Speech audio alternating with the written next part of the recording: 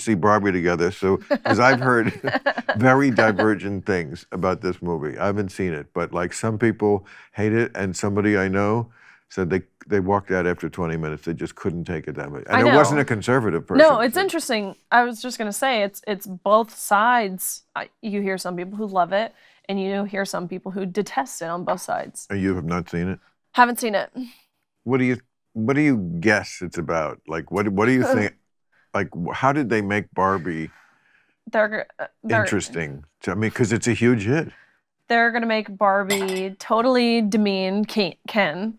Um, Right. demean his masculinity. I mean, that's that's Oh, so you think that's the whole joy of it is that it's it's it's a big uh, dick slap in the face to Ken. totally, totally. Poor Ken. Where's Ken's justice? Well, but but I, yes, and I saw that the the I thought it was funny actually. The billboard. This is as much as I know about the movie, except of course it's been written about endlessly.